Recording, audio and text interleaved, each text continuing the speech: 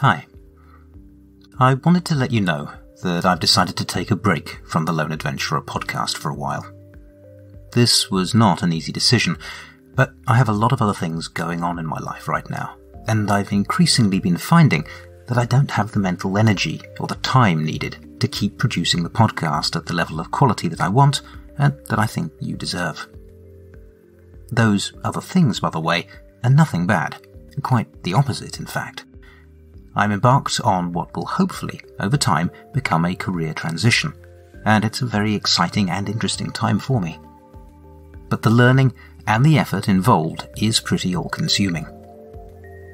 I love this podcast, and I love sharing my emergent narrative with you, but I also recognize that I need to take care of myself and my well-being, and the best way to do that is to give myself sufficient mental space to rest. And sadly, for now, that means cutting back on other things, and the lone adventurer is one of those things.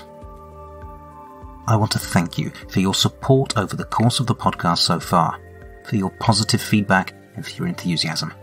You have been amazing listeners, and I am grateful to each and every one of you.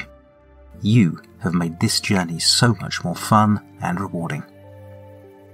I don't know when I'll be back, but I'm hoping it won't be too long.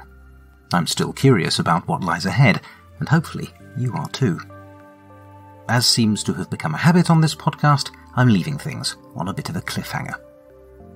So, until then, stay safe, stay adventurous, and stay tuned.